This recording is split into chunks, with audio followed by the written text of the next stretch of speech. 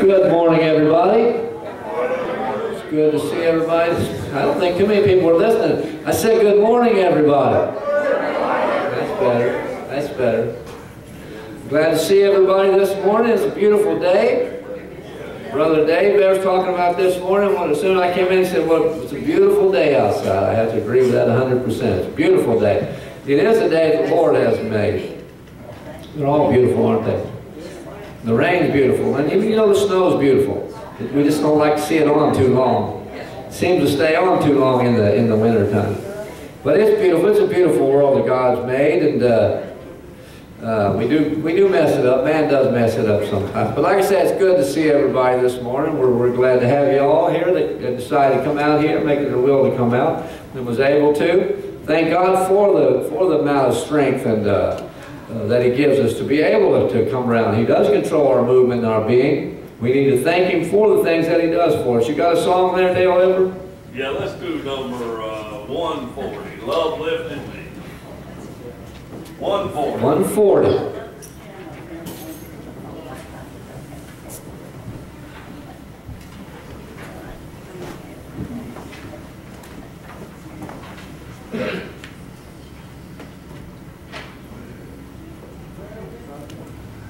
One forty. I was sinking deep in sin, far from the peaceful shore, very deeply stained within, sinking to rise no more. But the master of the sea heard my despairing cry.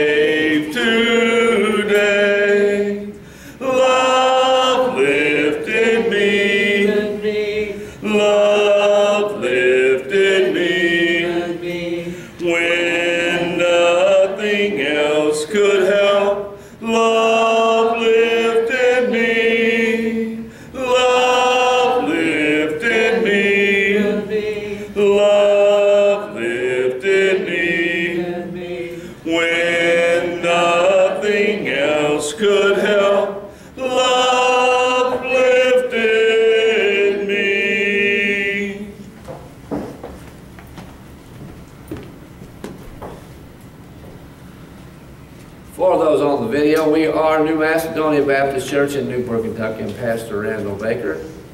Thank you for joining us, and I hope God will give you a blessing today. If we, if we come to church expecting a blessing, we can get one. Yep. If we come not, then we don't. You get out what you put in. That's exactly, I think Pat used to say, if you come expecting a blessing, don't bring a thimble. Yeah. Bring you a big old uh, tub or a big old, uh, what he said, basket. Yeah. Big old bushel basket. You don't send many bushel baskets anymore, do you? And also, I used to say, if you if you uh, if you go uh, praying for rain, take an umbrella with you. Show a little faith, a little confidence, because God's faithful, God's true.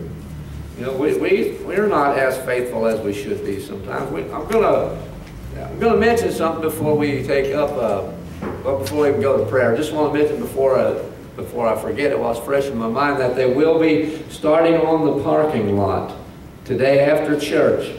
They're going to be cleaning it out today, and they're going to be uh, what, getting the weeds out, getting the dirt out of the cracks so they can fill them up. So what we're going to have to do is we're going to have the the uh, uh, parking lot resurfaced, not repaved, but we're going to have it resurfaced. It's not just going to be uh, the oil dumped on it. It's going to be a, a, a thick tar, uh, rubbery kind of a surface. Uh, so they're going to resurface it, and they're going to paint, uh, repaint the lines and the uh, uh, wheelchair things on there. The uh, The handicap markings. handicap marking, thank you. So, uh, what we'd like to do, when we do get to where we're taking up the offering, uh, we're gonna, we're gonna also take up an offering for that, if you wanna give to the, how much will be, twenty-one hundred dollars, something like It's that? twenty-one seventy-five. $21.75.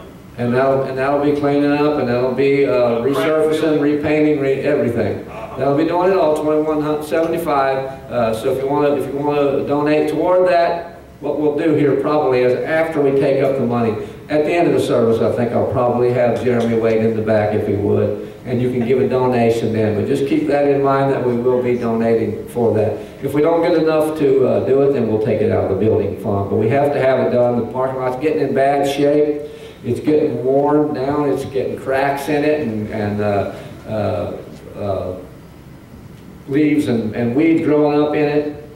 We don't want to have to start mowing the parking lot. So, uh, you know, we're going we're going to have that done. It's, it's something, we, we've been trying here on Tuesdays, coming in, a group of men and women have been coming in trying to, to clean paint and, and fix up things that have been uh, going bad on us for a long time. I think uh, progress is being made. If you notice around, you can see, especially on the outside, a lot of cleaning and a lot of uh, uh, painting been done. And inside, ladies have done the, clean the pews and everything, and a lot of things they have done. What's that? They've cleaned the curtains, the, the window blinds, the cabinet, uh, uh, carpet, uh, many things. Yeah, the carpets have been recently cleaned. Yeah, I don't know if you've noticed that, but uh, we had the carpets, we had a uh, cleaner come in and clean the carpets, the ladies, the ladies did, and uh, I think they did a really good job with it. Yep. Uh, They had some big stains on it. We need to remember this, folks, not to, not to bring food and drinks that'll stain up here, if you can, if you can remember not to do that. Because it does, once it falls on the carpet, it makes a big black spot, whatever color it is, you know, it attracts the dirt and then makes a big black spot on. But thank you for, for not uh, eating and drinking up here. Water's okay, of course. Not because I have water up here, but water won't do, water won't do anything to it. But uh, thank you, thank you for, for abiding by that. Do as I say, not as I do, right? I can't hear anybody. Do as I say, not as I do. Yeah, do as I say, not as I do, that's right. Well, so we're gonna go ahead and take up some prayer requests. Uh, Brother Stanley, the brewer, called me last night and said he wouldn't be here today, pardon me, because uh, he's still having a lot of trouble with his back and his legs, and he does have to see another doctor uh, next week sometime. Now, I also said she won't be here next week, but don't worry about her, she's not sick. I just want to say this because next week when we see her out of the pew and I say, uh, well, Elsie must be sick, she ain't here. You can say, no, she said she wasn't going to be here. She's got a previous engagement, so she won't be able to be here. But we can ask a blessing on her while she's gone with whatever she's doing. Uh, But we are going to go ahead and take up some prayer requests. Yeah. Um, pray for our Cameron, he's having surgery done Tuesday. Uh, Our grandson Cameron hurt his, hurt his ankle and he's going to have some surgery on Tuesday. He's got some broken bones and uh, cartilage and, and ligaments torn. Yeah. Uh, Our grandson Preston's got something broke out on him and he's itching all over. That ain't fun when you itch all over. Yes, ma'am. I just remember Charles. She still looks Paul- bad to me. Paul Deaton's uh, wife.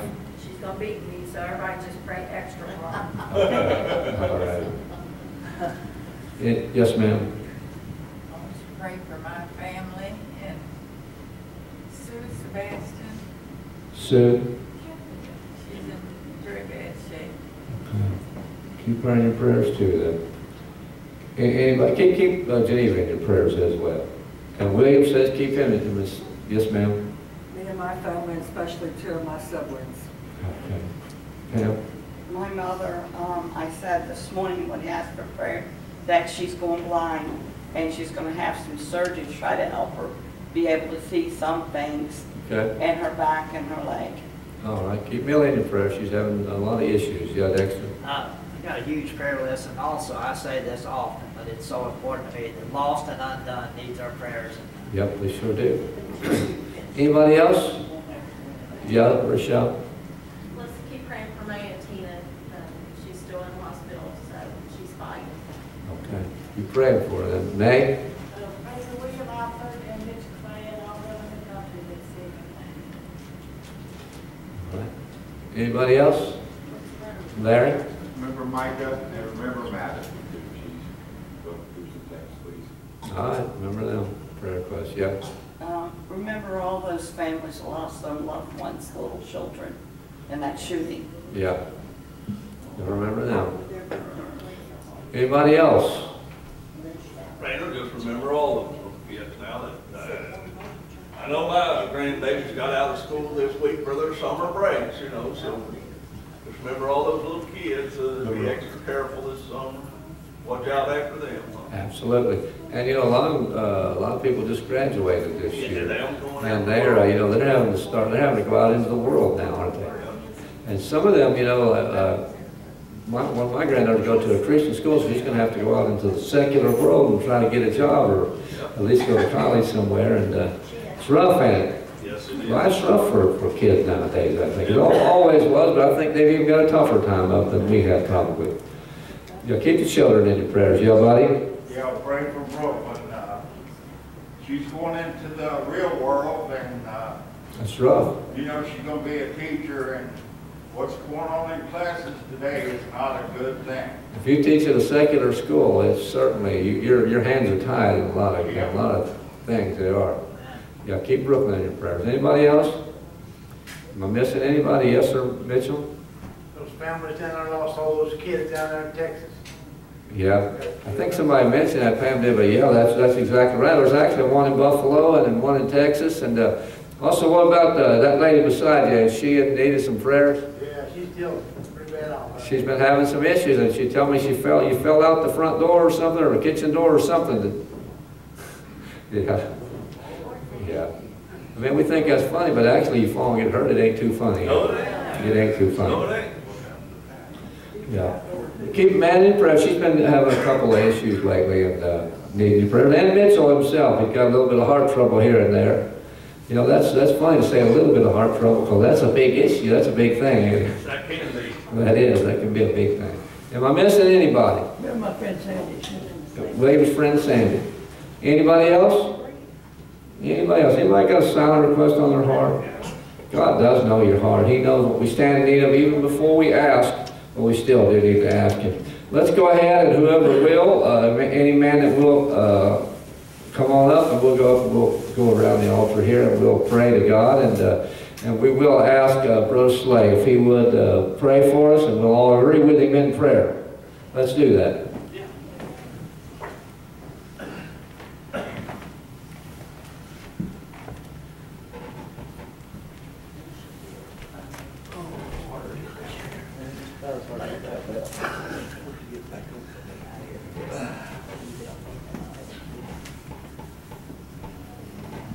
Heavenly Father, we thank you once more for this opportunity to come into your house to worship. Yeah. We thank you, Lord, for this church, we thank you for the members of it and what it stands for, Heavenly Father. We just ask, Lord, that you would just bless all the prayer requests this morning, Heavenly Father. And Lord, we just ask that you be with the military personnel who are serving and that passed away, Lord, their families, Lord. We know what they uh, sacrificed for our freedom, to be able to come into your house, Lord, to worship you. Bless him. Amen. Lord, we just ask that you would just bless Brother Randall when he comes to the stand, that he bring a message to feed the flock. And we ask it all in the name of your Son, Lord and Savior Jesus Christ. And amen. Amen. Amen.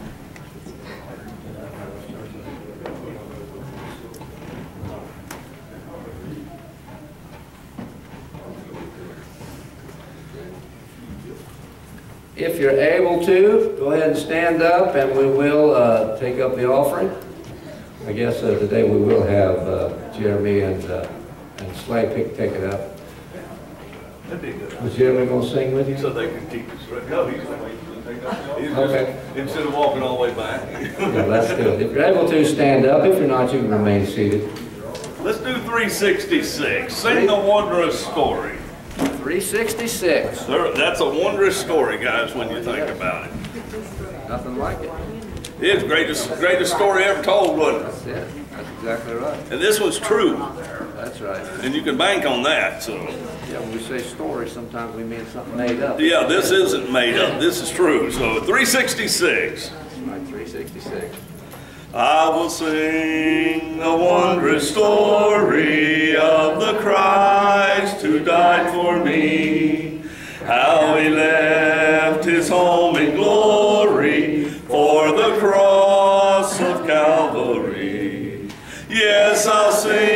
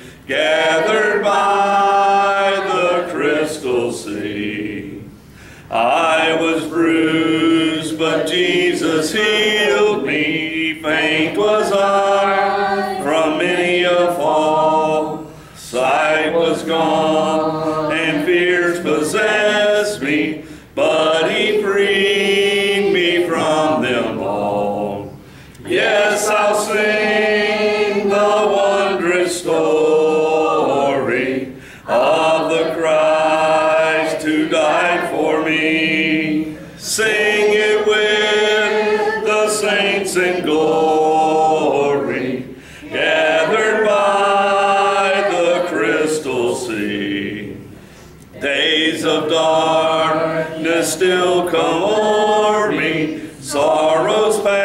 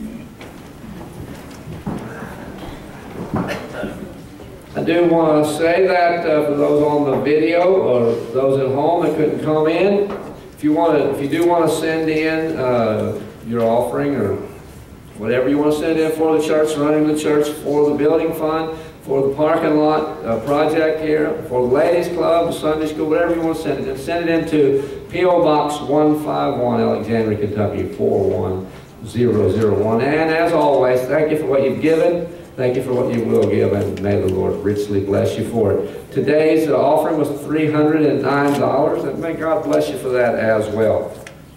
And we were talking about in Sunday school this morning, uh, you know, we ask for donations, but we only ask for them if you are uh, willing and cheerfully giving it. We don't want you to be grudgingly giving. we don't want you to feel like you have to give anything, because there's not an admission fee here. There's not, uh, you know, we don't have to, you don't have to pay to come here. We're glad to have you. If you're able to pay, or if you're not able to, to help with the projects that we need done or running of the church, if you're not able to, you're just as welcome here as a person that gave us what he can give, you know. We, we appreciate that. We appreciate you and not your money. But we thank you. We thank you for all that you do for us. And this is, as, as, as everybody that's ever been a pastor here at the church, I've always said, New Macedonia people are, they are generous people. And, you know, we're glad, glad to have them. Glad, we're glad to have you people, our, our good Christian family. Thank you. Thank you for everything you do for us. Who's got a song then? Sir, you still want to sing that or you not? I'm on past, thank you. All right. Hell, you and Jeremy ever get your song together you were going to sing or you never did? No, we didn't. Okay. We- We sure didn't. It's a conflict of schedules, I guess. a lot of Okay, times. that's fine. I got one. All right, come on up and do it then.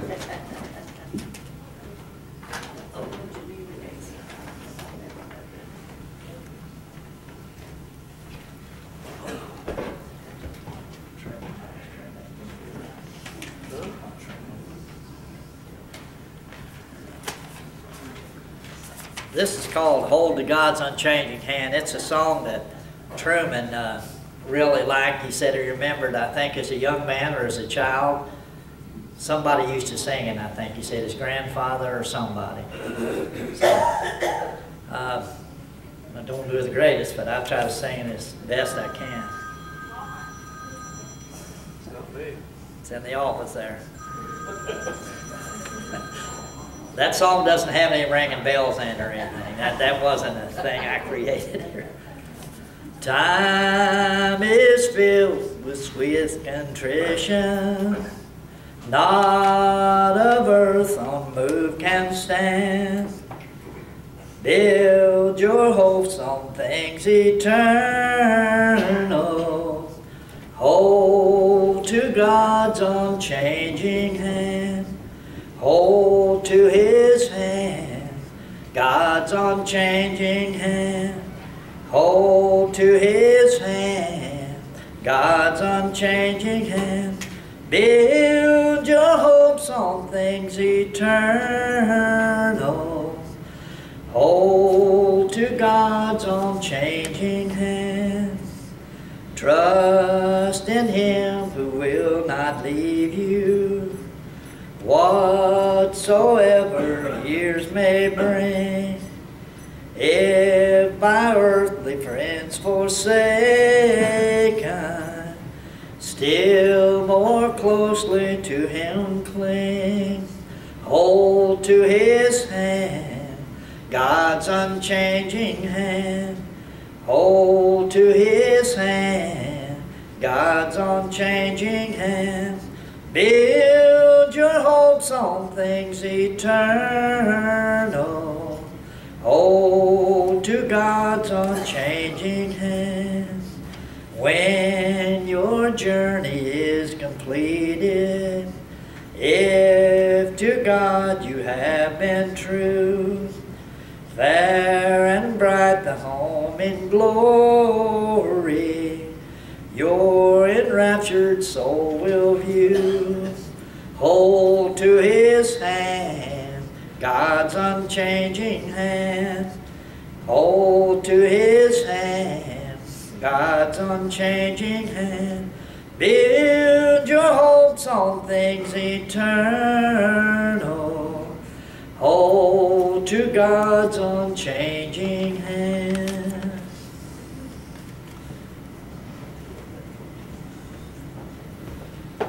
Well, I'm glad that God is unchanging. Amen. Glad that He uh, made promises to us and He sticks to His promises. You got one, Dale, you want to sing? Uh, No, that's fine. Anybody else got one they want to sing? William? I think I'll pass you there. You did say a while back you were going to sing one in a couple of weeks. Well, I'm gonna sing that Sunday and I didn't get asked, so. Well, now, now wait, I don't, I don't buy that. I don't think you should. That. Okay, you ain't going to sing, that's fine. Go ahead and uh, turn in your Bibles to Matthew chapter 4, verse 1. Matthew chapter 4, verse 1. You know, for many years there have been uh, people claiming to have made a deal with the devil. Made a deal with the devil, and uh, the devil supposedly gets their soul, and they in return can get fame, fortune, or maybe uh, immortality. You know, we see it in all kinds of things. They got plays about it, movies, songs, and, and even tales from, from the Dark Ages, even uh, uh, where the people made bargains with the devil, supposedly. And, and, you know, I still hear about it today. You know, I'm sure we've all heard about that. You still hear about uh, rock stars and movie stars and stuff making deals with the devil to be able to get famous. And uh, but you know what? That's all fairy tale, and I'll tell you why that's a fairy tale. I'm saying the devil's not a fairy tale because the devil is a very real character. He's a very real uh, person, entity, whatever he is. But the devil is a deceiver. The Bible tells us that. He's a deceiver, he's a liar, and he's a murderer. Now, he may deceive people into thinking he can make them famous, and he might be able to make people famous. I don't know that. But here's the thing about it. He ain't got no power over your soul. He has zero power over your soul, and he can't give you immortality. That's not within his realm. That's not within his, his power to do that.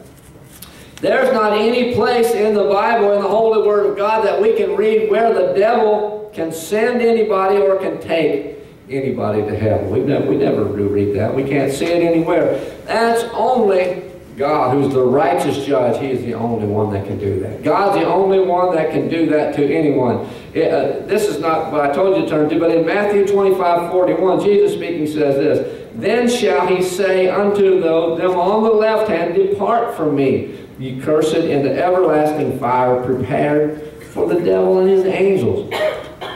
The devil and his angel, angels, the demons or the devils is with him. They will suffer the same fate as the condemned, as the damned here will suffer. They'll suffer the same thing at the end times. They will. Let's go ahead and pray. Heavenly Father, we thank you, Lord, for this day. We thank you for all the good, great, and perfect gifts that you've given us. Lord, we just ask you to bless this message today. Let it go out to someone's heart, Lord, someone that is confused about salvation, someone is confused about who their Savior is, Lord. Just ask you to bless them with this message. Heal them if be your will, Lord, and let them come to you with a contrite spirit and a broken heart, dear God, showing that they are indeed ready to be saved, Lord. We thank you for it. We'll ask you to bless this sermon, as I said, Lord, and be with us in all things. We'll give you all the glory, all the praise, and all the honor. In Jesus' name we do pray. Amen. Amen. So in Revelation 2.10 it says this, Jesus speaking again said, Fear none of these things which thou shalt suffer. Behold, the devil shall cast some of you into prison, that he may be tried. And he shall have tribulation ten days. Be thou faithful unto death, and I will give thee a crown of life. Now, Satan, the devil, has some power on this earth. I mean, we, we've talked about that before. We can read that in the Bible. He's the God of this, of this earth, the Bible says. He can tempt you. He can persecute you. He can put you in prison, like we have said earlier. He, he can give you sicknesses. And, uh, you know, uh, how much power over death that he has because Jesus Christ, he, he won that victory over death. But he cannot send you to hell. It's very plain. The devil cannot send you to hell. That's not what he can do. Uh, he doesn't have that power. He can only do what God allows him to do. That's all that the devil has the power to do, just what God can do. Now, does that stop him from trying? Never has, it never will. He's going to try. He's going to try to do whatever he can do. But, but hear this. If you have made a deal with the devil, I hope that none of you have done that, but if you have made a deal with the devil, you can break that contract. That's easy to break. It's an easy thing to break. It's just, it's just believing that Jesus Christ died on the cross for your sins, that he rose on the third appointed day. And then the Bible just tells you to call on his name. The Bible says then, if you do those things, thou shalt be saved. It doesn't say if you've made a deal with the devil, you can't be saved. It just says if you do those things, thou shalt be saved. Now, the devil's name uh, means some different things. It means adversary, and that means enemy. It means an enemy. But it also means this, it means accuser. The devil's name means he's the accuser. Even if you're a child of God, of, of the devil, or if you're a child of God, but if you're even if you're a child of the devil, even if you've given your life over to him, and, that is, if you haven't made your uh, election and your calling sure, you are a child of the devil. The Bible makes that pretty clear. And I'll tell you this, even if you're a child, he has, he has no loyalty to you. He doesn't love you. He doesn't care for you. Like Jesus says, catch your cares on him for he cares for you. Jesus does. The devil doesn't. The devil is pure evil. He's wicked. And he only wants your destruction in any way that he can get it. But only you can, can, can determine where you go. And that's by accepting or believing in Jesus Christ or not believing him. The devil even tried to make a deal with Jesus Christ. Matthew 4 1. Matthew 4 1 is where I told you to turn to. It says this. Then was Jesus led up of the Spirit into the wilderness to be tempted of the devil. And when he had fasted 40 days and 40 nights, he was, in a, he was hungered, afterward in hunger. And when the tempter came to him, he said, If thou be the Son of God, command that these stones be made bread. But he answered and said, It is written, Man shall not live by bread alone, but by every word that proceedeth out of the mouth of God. Then the devil taketh him up into the holy city and setteth him on the pinnacle of the temple and saith unto him, If thou be the Son of God, cast thyself down, for it is written, He shall give his angels charge concerning thee, and in his hands they shall bear thee up, that at any time thou dash thy foot against a stone. You know, that is Bible. That is in the Bible. The devil was quoting Bible to, to Jesus Christ. Verse 7 says this, Jesus said unto him, It is written again, Thou shalt not tempt the Lord thy God. Now here's where the devil tries to make a deal then. He says, Again the devil taketh him up into an exceeding high mountain, and showeth him all the kingdoms of the world, and the glory of them, and saith unto him, All these things will I give thee, if thou wilt fall down and worship me. Then saith Jesus unto him, Get thee hence, Satan, for it is written, Thou shalt worship the Lord thy God, and him only shalt thou serve. Amen. Then the devil leaveth him, and behold, angels came and ministered unto him. Let's turn on over to Matthew uh, 26, 14. Matthew 26, 14, just a few pages over in your Bible. The use of the word devil as a name for Satan is only used in the New Testament. Now, the word devils, devils, is, uh, is in the Bible four times uh, uh, for the Old Testament uses. In all four cases, it's not referring to Satan, but rather, well, in a sense it is, but it's referring to idols, to worshiping idols. In Leviticus 17, 7, it says, And they shall no more offer their sacrifices unto devils after whom they have gone a whoring. All four times it's used, it's used in that same manner, that they have offered sacrifices unto idols. The word for devil in the Hebrew word is sa'ir. And it can mean devil, or it can also mean goat. Does that mean anything to anybody? Because when the Satanists have their rituals, they wear goat heads and goat masks. That's the reason. That's where they get that at. And that's, and that's why they do that. Now, the Greek word that's used in the New Testament for it is uh, diablos, which I'm sure many have heard. And that means Satan. It can mean uh, uh, false accuser. It can mean devil, and it can mean slanderer. And that's exactly what Satan is. There are some, there are some people that choose Satan over, over God. Quite a few. More, more people will choose Satan and will die and go to hell than they will go to heaven. But you know what? There's people that you Satan. They're probably already evil. Most of them already are. They're already more interested in possessions and more what they can get out of things while they're alive here on this earth than they are for eternal uh, glory in heaven, for eternal life in heaven. Uh, the most well-known case of anybody making a deal with the devil is one of Jesus' own disciples. But you know what? Jesus wasn't fooled by him. He wasn't fooled by him. He knew who he was. Jesus said in John 6, 70, Jesus answered them, Have not I chosen you twelve, and one of you is a devil. Jesus knew that the betrayer, he knew the one that would betray him would be Judas Iscariot, son of Simon. He knew that all along. He wasn't fooled. God is not mocked. Be not deceived. God is not mocked. God, you, don't, you can't fool God with anything. You might say, you know, somebody might say, well, Judas didn't make a, a deal with the devil. He made a deal with the chief priest for 30 pieces of silver. Here's what Jesus said about the unbelieving Jews in John 8, 44. He said, Ye are of your father, the devil, and the lust of your father you will do. In Revelation 2, 9, he said this, I know thy works and tribulation and poverty, but thou art rich. And I know the blasphemy of them which say they are Jews and are not, but are the synagogue of Satan. So those unbelieving Jews, the unbelieving Jews, I'm not saying all Jews, I'm just saying the unbelieving Jews were devils. They were devils. In Matthew 26, uh, 14, it says this, Then one of the twelve, called Judas Iscariot, went unto the chief priests and said unto them, What will ye give me? And I will deliver him unto you. And they covenanted with him for 30 pieces of silver. And from that time, he sought an opportunity to betray him. Go over and turn over to Job. Job chapter 1 verse 6. Job chapter 1 verse 6. Uh, Mark David Chapman, many of you may know who he was. He was the man that shot the, the Beatle uh, John Lennon. He killed him out in front of his apartment building in the Dakota. And, and he said in an interview that he prayed to Satan to give him the strength to be able to shoot and kill uh, John Lennon. And he said that when he, when he actually pulled the gun out and do it, he said a voice in his head was saying, do it, do it, do it, over and over and over again. He said a voice within his head was doing that. Now, it doesn't actually say that he made a deal with the devil, but he certainly asked the devil to help him to do that. The Bible warns you about making deals with the devil. It warns you, or more precisely, about missing out on salvation. You're making a deal with the devil if you don't. Jesus asked uh, this in Mark 8, uh, 36 and 37, For what shall it profit a man if he shall gain the whole world and lose his own soul? Or what shall a man give in exchange for its soul? Now, you know, if that's true, I was saying people make deal with the devil, it seems like people would give fame and fortune and wealth up for their souls if they were able to do that.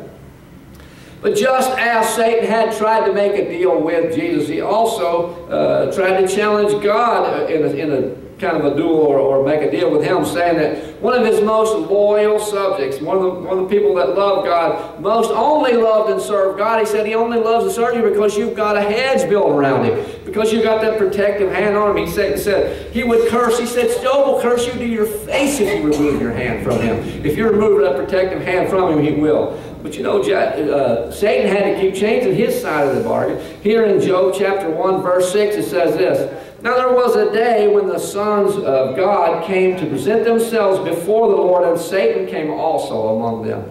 And the Lord said unto Satan, Whence comest thou? Then Satan answered the Lord, said, From going to and fro in the earth, and from walking up and down in it. And the Lord said unto Satan, Hast thou considered my servant Job, that there is none like him in the earth, a perfect and upright man, one that feareth God and escheweth evil. Then Satan answered the Lord and said, Doth Job fear God for naught? Has not thou made a hedge about him and about his house and about all that he hath on every side? Hast thou blessed the works of his hand and his substance? And the, is the increase in the land? Uh, but put forth thine hand now and touch all that he hath, and he will curse thee to thy face. And the Lord said to Satan, Behold, all that he hath is in thy power. Only upon himself put not forth thine hand. So Satan went forth from the presence of, of the Lord. Now Satan did these things to Job, and of course he did bad things to Job, but Job didn't, Job didn't curse God. He did not curse God. So uh, Satan had to change his, his plan, his part of it. He said, skin for skin. All that a man hath he'll give for his own life. He said, take, touch his life, touch his very health, and see what happens. He'll curse you to your face. And of course, what did Satan do? Jesus, uh, God said, you can, you can, you can, uh, you can touch him, but do not take his life. Do anything but take his life. So Satan went, did the worst thing he could think of. He put boils from the top of Job's head to the soles of his feet, so that Job had, Job had no time, night or day, no rest at all. But you know, Job still didn't curse God. So you know what? Satan ended up losing again. I like to see Satan lose things. I, I like to see in the Bible when Satan loses. I like that. Turn over to Judges. Turn your, uh, Bibles over to Judges chapter 11, verse 30. Uh, Judges 11:30. You know what? There's people who make deals with the devil, but have you ever heard of anybody making a deal with God? People talk about making deals with God. I think that's probably a lot more common. And people, people will say this, God, if you'll let me live, or let my child live, or you'll heal me of this, or do this for me, that I'll, that I'll, you know, I'll be good. You know, I'll be real good. I'll come to church every Sunday. I'll, I'll do tithing. I'll do service. I'll do whatever I can for God. People say that stuff. They promise God all kinds of things. And you know, if God does end up blessing them and healing them, or, or, or whoever it is they want it done for, they a lot of times won't end up there. They won't hold up their end of the bargain. Their end of the deal will fall down. In Deuteronomy 23, 21, it says this, When thou shalt vow a vow unto the Lord thy God, thou shalt not slack to pay it, for the Lord thy God will surely require it of thee, and it would be sin in thee. Now, I don't ever read in the Bible where God wants you to make a deal with him. He don't ever tell us to make deals with him. You know, his mercy is endless, and his mercy doesn't have, a, it's not a one-sided thing. Uh, but if you do make a deal with God, you better keep it. You better keep it if you make a deal with him. You better. You know what? We don't have a bargaining chip in that in that uh, fight there. We can't. God don't have anything we need. What's what? I mean, we don't have any, we don't have anything that God needs. God has plenty that we need. We don't have anything that God needs. God can make it just fine without us. We can't we can't do nothing without Him. It says that in John five fifteen. Without Him, we can do nothing.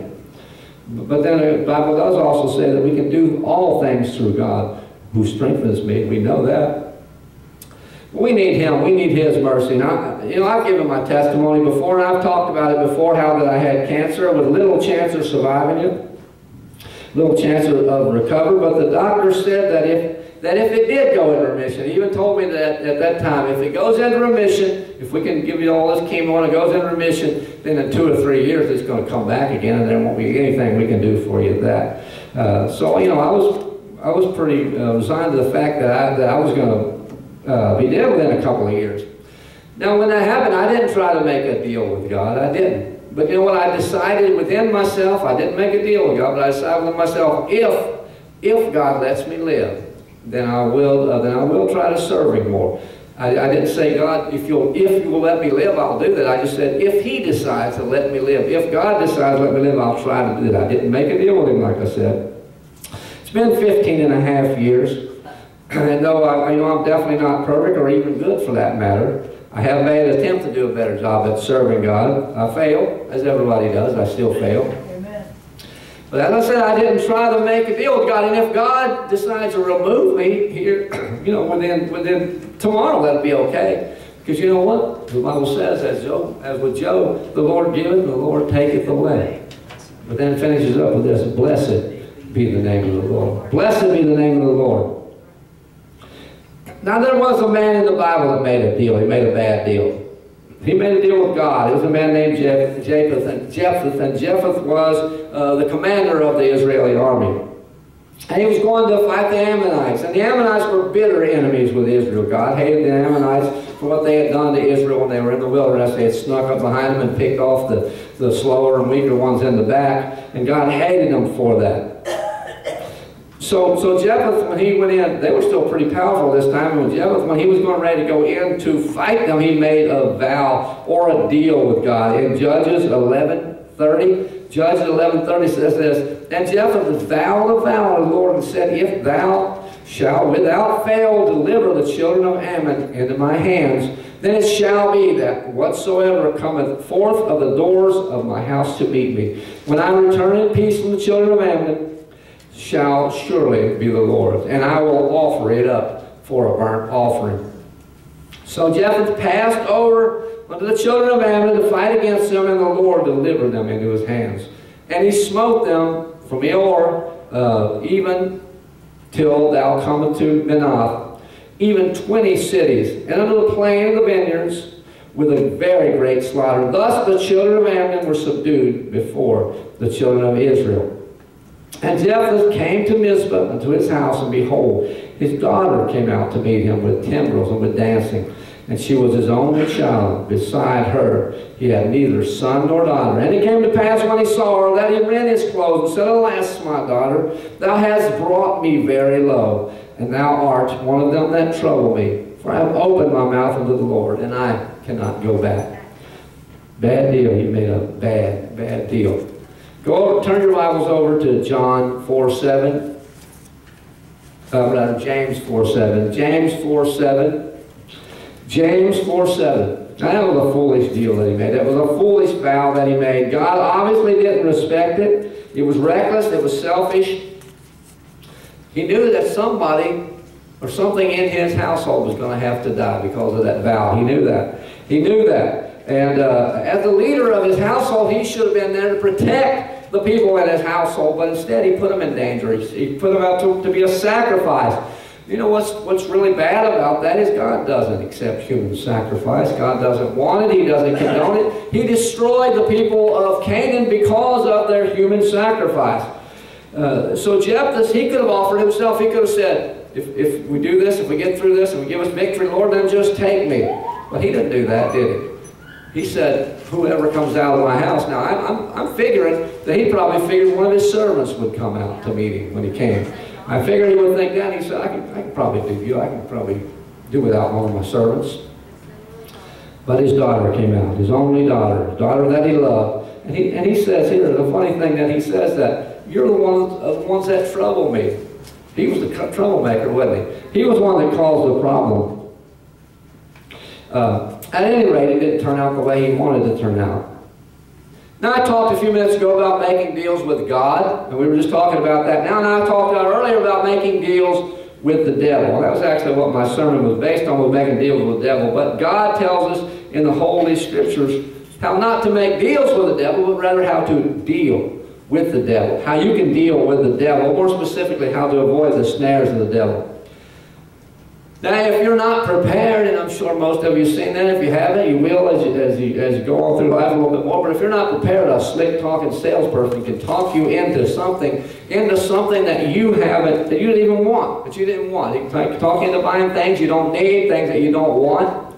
Now, in cartoons and shows and stuff, you can see a door, door salesman and you'll be talking to a customer outside their house, and the customer's trying to get away, trying to shut the door, and they got their foot stuck inside the door. So you said, if I just get my foot in the door, a lot of salesmen said, I can make the sale. But the other person's trying to close the door, and they got their foot stuck in there. But uh, the devil is like that, folks. He's like that. And he, he will, uh, he'll, he's subtle, the Bible says he's subtle, but once, once he has you hooked a little bit, then he's going to put on full force. He's going to, he's going to, he's going to be like a pushy salesman.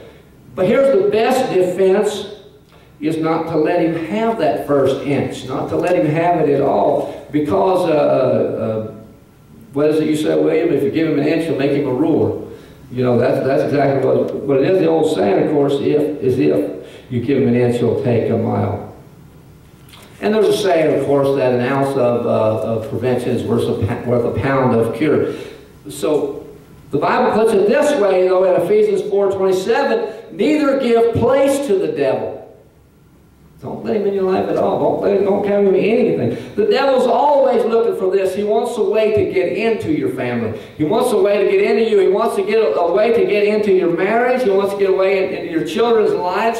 He wants to get into schools. And I tell you this, people, he wants to get into the church. Uh, I heard uh, a while back somebody said that uh, the devil gave up trying to just uh, uh, wreck the church, and he joined it. You know, that happens. He does He wants to get in there and he wants to do whatever he can. He knows he can't take your salvation. He knows he won't be able to take your salvation, but he will be able to take the joy of your salvation. David didn't, didn't pray for his salvation to be returned, but that would, God would return the joy of his salvation. You know what else he can destroy? Satan can destroy your testimony. He can do that you know, if, if, you have a, if, you, if you don't have a testimony, you can't testify to anybody. You cannot testify to someone about Jesus. What if you're on the street and, and, a, and a drunk guy on the street there staggers up to you and he wants to say, let me tell you about Jesus and how he can save your soul and how he can do wonderful things for you.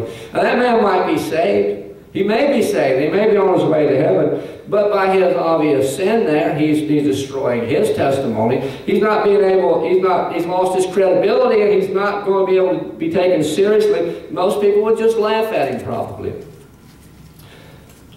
You know what we like to do as people? We like to say, I'm better than that guy. I'm better than him. You know, I'm, I'm better than that person. I can do that better. I'm better than the drunk on the street. Are we any better than the drunk on the street? Not one bit, are we? Anybody that's saved here is only saved by the mercy of God. And you know what? We're still going to sin. Whether our sin's obvious to anybody or whether it's not, we're still going to sin. But you know what? God says that if we do confess our sins to Him, He is right. He is righteous and just to forgive us of our sins and to cleanse us from all unrighteousness. Now, why would he say that if we didn't need that done? We, did, we need it done all the time. Peter tells us this in uh, 1 Peter 5, 8. Be sober. He's not talking about the sober like the drunk guy. Just be somber. Be, uh, you know, be serious. Be sober. Be vigilant. Because your adversary, the devil, as a roaring lion, walketh about seeking whom he may devour. So that's one of the ways God tells you how to deal with the devil. Be sober. Be vigilant. He's your adversary. James tells us in James uh, 4, 7 and 8, James 4, 7 and 8, it says this, Submit yourselves therefore to God, resist the devil, and he will flee from you. Draw nigh to God, and he will draw nigh to you. Cleanse your hands, you sinners, and purify your hearts, you, devil, double-minded. 9 actually says this, Be afflicted and mourn and weep. Let your laughter be turned to mourning, and your joy to heaven, heaviness. Humble yourselves in the sight of the Lord, and he shall lift you up. So he's telling us some ways that we can uh, uh, deal with the devil so that we can get the devil away from us. Resist the devil, he said. Resist the devil. Turn over in your Bibles to our uh, closing uh, verse in uh, Romans chapter 10. Romans chapter 10, verse 9. Don't make deals with the devil. Don't make deals with the devil. He's a deceiver. In the end, in the very end, in the end of life, he can't offer you anything but death and destruction. He himself will be cast into the lake of fire that burneth forever. If you have made a deal with the devil, if you have made a deal with the devil, just break it. Just break it. You can back out of it at any time, at any time, because all you have to do is put your faith, trust, and belief in the Lord and Savior Jesus Christ. In His death, His burial, and His resurrection. That's the gospel. That's what saves you, the belief in that. And it says that you shall be saved. The Bible says that.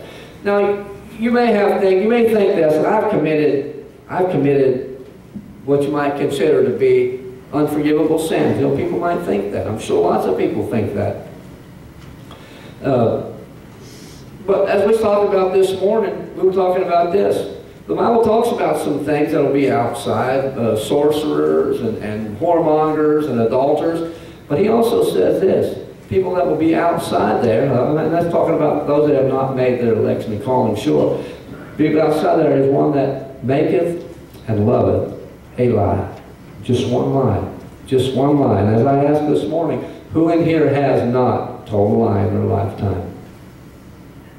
I can't, I, I mean, I know some great people in my life, but I don't think I've known anybody that's never told one single lie. But just that one lie, just that one sin there will send you to hell for eternity if you don't accept Jesus Christ as your Savior. Moses committed murder. The Bible says that he committed murder. He killed a man. He murdered a man. David committed adultery and then to cover it up, committed murder. You know, God didn't reject them. God used them both in mighty, mighty ways. He, can use you too. He can also do that. All you have to do, all you got to do is this. All you got to do is look at what Romans, you guys come on up, Dexter and uh, Dale, come on up. And whoever else wants to come up with them. But come on up, and all you have to do is this, what Romans 10, 9 and 10 say, and then 13. It says this, Romans 10, 9 says this, that if thou shalt confess with thy mouth the Lord Jesus, and shalt believe in thine heart that God hath raised him from the dead, thou shalt be saved. For with the heart man believeth unto righteousness, and with the mouth confession is made unto salvation. It says this in 13, For whosoever shall call upon the name of the Lord shall be saved. How about that? Shall be saved. You know what? If you're going to make a deal, make it with God like that, with just your part of it only being belief. And what He's already done for you. He don't want you to work for what, what He can give you because he just said it's just by belief. By belief in what he's done that they'll save you. That's what saves you, just the belief in his death, burial, and resurrection. And as I said earlier, and I, and I mean this sincerely, if you've made a deal with the devil, don't think you're condemned because of it. He cannot condemn you. The devil cannot condemn you. If you don't believe in Jesus Christ, what's the Bible say? You're condemned already. You're condemned already. All you got to do is just believe. Just reverse that by believing in Jesus Christ. Ask Him to save you. Tell me you believe Jesus is Lord. Tell me you believe He died for you on the, on the cross and then He rose again on the third appointed day. That's the gospel. He said that's all you have to believe. Just ask Him to save you. And He is faithful and He's just. He'll save you. He'll cleanse those sins from you and He'll cleanse you from all unrighteousness. As we sing, if God has spoken to you, go ahead and stand up if you're able to. If you're not, you can remain seated. Go st stand up if you're able to. If God has spoken to you, come on up and we'll, we'll talk to you about how it is to be saved. We'll go more into it. And, and we'll show you exactly what the Bible says about being saved. Not a hard thing. Simple thing. Sure. Ain't you glad it's an easy thing? Absolutely. Let me ask you this, folks. Ain't you glad that God sent Jesus Christ down to die for your sins? Because, you know, if, if, if, if he hadn't rose again, though, the Bible says, then our hope is it's just, it's in vain. Our faith is in vain, but he did rise again. If you believe the Bible, you got to believe that Jesus Christ came to earth as a man, that he died on the cross, and that he rose again on the third and appointed day. And what did he do it for? For his own sake? No, sir. For our sake, because we, we were lost in sin. He left great riches to come down for us. We were the one that needed him. We needed him to come down, and thank God that he did. Thank God he did come down for. He made a way for us when there wasn't a way, as we sing. Just as I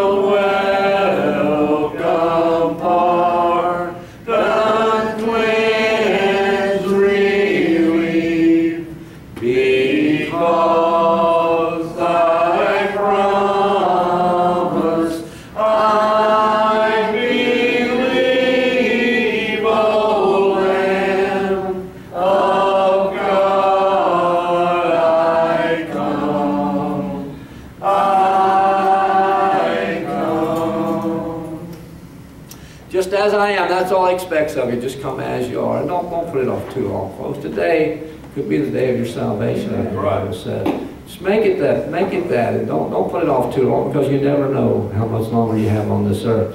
We're gonna welcome our guests today. We're glad to have you, whoever, whoever's new here to church today. We're glad to have you. Hope you'll come back and visit us again sometime. We are gonna ask Brother Slay if he would then close us in prayer. Lord, that you bless the church. Thank you for the Brother Randy. Uh, Just ask also that you just once again bless all the prayer that have been here this morning. We ask for just one son, man and woman in the church, Heavenly Father. That you just give them one more opportunity. Amen. to Step out of your promise. Lord, we just ask now that you go with us as we go to the little places that we call home and from the third. We ask it all in the name of your Son, Lord and Savior, Jesus Christ. Amen. Amen. Amen. Thank you, folks. See you next week.